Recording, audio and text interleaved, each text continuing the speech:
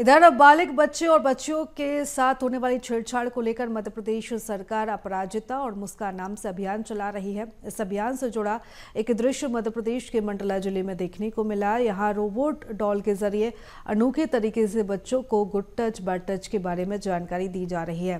दरअसल यहाँ पर मंडला पुलिस के एक अधिकारी सूबेदार यहाँ पर पहुँचे थे और उन्होंने रोबोट के ज़रिए यहाँ की बच्चों को गुड टच बैड टच के बारे में जानकारी दी। योगेश राजपूत ये डॉल लेकर सरकारी स्कूल में पहुँचे, जहाँ बच्चों को एक्सपेरिमेंट के ज़रिए ये सिखाया गया।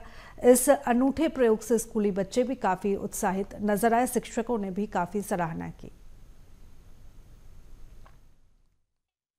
है जो कि इसने हमें सिखाया कि गुड टच और बैड टच क्या होता है।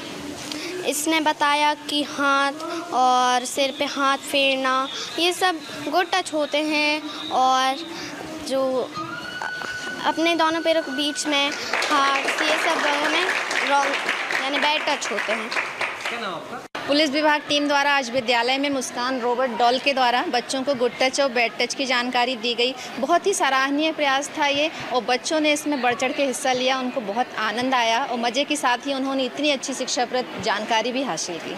देश में अपराजिता, मुस्कान जैसे अभियान चल रहे हैं जो बालिकाओं, महिलाओं की सुरक्षा को लेकर पुलिस काम कर रही है, लोगों को जागरूक कर रही है। हम लोग इसी के अंतर्गत स्कूलों में जाकर महिलाओं सुरक्षा को लेकर जागरूकता अभियान चला रहे हैं। मैंने एक प्रयास किया है कि जैसे बच्चे डॉल और रोबोट के प्रति ज़्यादा रुझान रखते हैं तो डॉल के माध्यम से हम ये बताना चाह रहे हैं कि गुड टच क्या होता है, बैड टच क्या होता है, ये पहली सीढ़ी है बच्चों को अपनी सुरक्षा के लिए सिखाना। तो मैंने एक प्रयास किया डॉल के माध्यम से, जहाँ जहाँ गुड टच होता है, बैड टच होता है, वहाँ हमने सेंसर लगाए हैं, ऐसा बनाया है रोबोट जैसा कि बच्चे इससे सीखें। और बच्चे अभी हमें पश्चात देखने को मिल रहा है कि बच्चे बहुत अच्छे तरीके से इससे सीख रहे हैं।